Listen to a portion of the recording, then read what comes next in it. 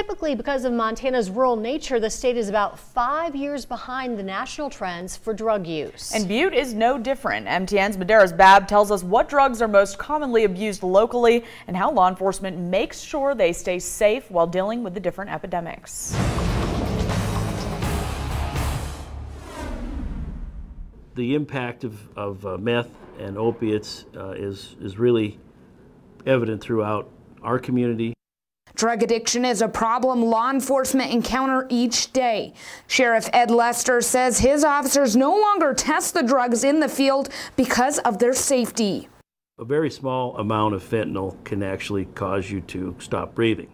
So we've stopped all of our field testing and all of our testing currently is done at the, the crime lab. All of Butte's officers and drug dogs have Narcan kits, but it's not just for others. They are also intended for the officers to use in case of an emergency. My thoughts originally with the Narcan were that we would carry that and have it in our vehicles uh, in the event an officer was exposed to this uh, fentanyl. Then we could administer it quickly and, and get him breathing and get him to the hospital. None of the kits have been used on officers, but they have been used on people who have overdosed. Uh, we've used Narcan a lot uh, recently.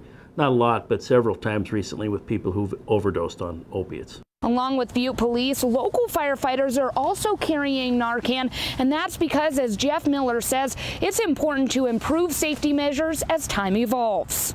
You, you, are always dealing with the unknown, and, and it's always fourth and 20 because you're never responding to something good or because somebody's having a good day.